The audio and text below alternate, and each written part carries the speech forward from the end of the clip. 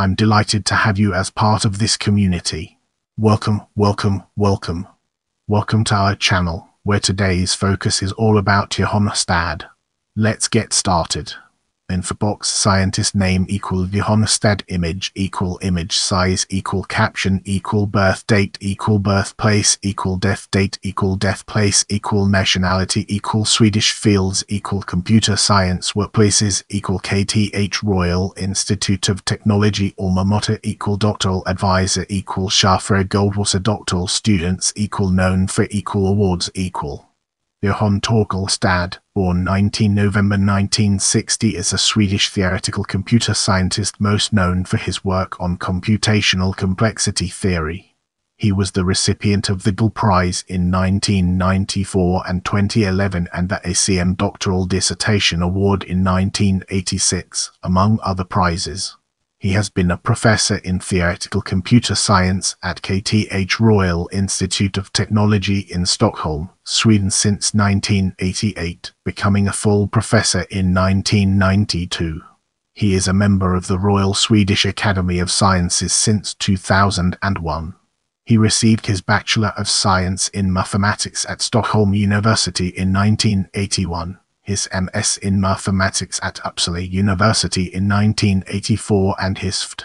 in mathematics from MIT in 1986.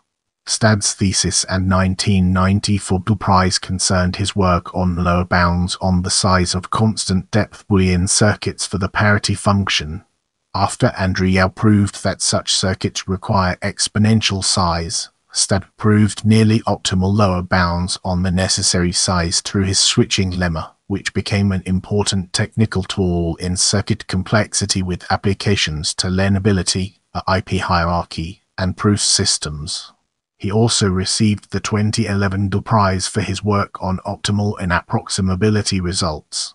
In particular, he improved the PCP theorem which won the same prize in 2001 to give a probabilistic verifier for NP problems which reads only 3 bits.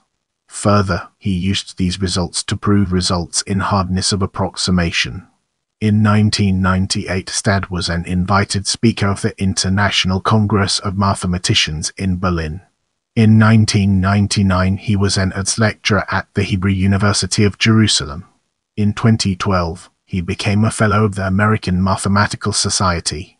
He was elected as an ACM Fellow in 2018 for contributions in circuit complexity, approximability and inapproximability, and foundations of pseudorandomness. In 2018, he received the Knuth Prize for his long and sustained record of milestone breakthroughs at the foundations of computer science, with huge impact on many areas including optimization, cryptography, parallel computing, and complexity theory. Have any questions or topics you'd like me to cover in future videos? Let me know in the comments.